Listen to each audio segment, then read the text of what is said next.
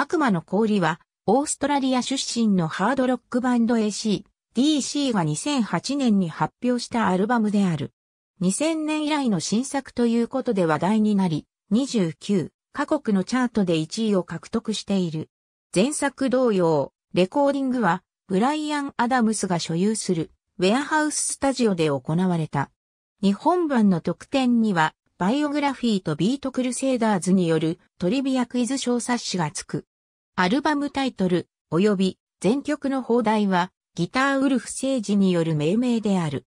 また、このアルバムに伴うブラックアイスワールドツアーが2008年から2010年まで行われ、2010年3月には9年ぶりの来日公演が埼玉スーパーアリーナで開催された。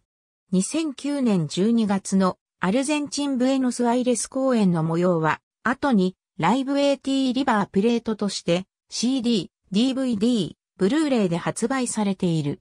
アルゼンチンブエノスアイレス公演タコマ公演スペイン、マドリード公演全曲、アンガス・ヤングとマルコム・ヤングの共作。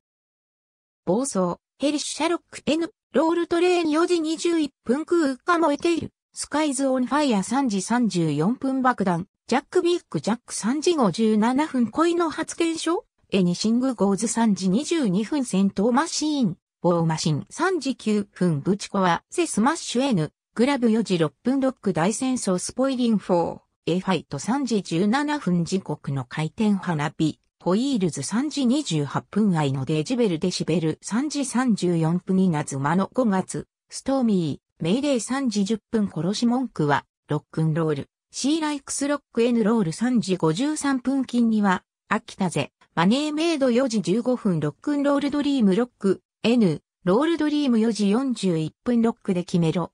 ロッキングオールザウェイ3時22分悪魔の氷、ブラックアイス3時25分。ありがとうございます。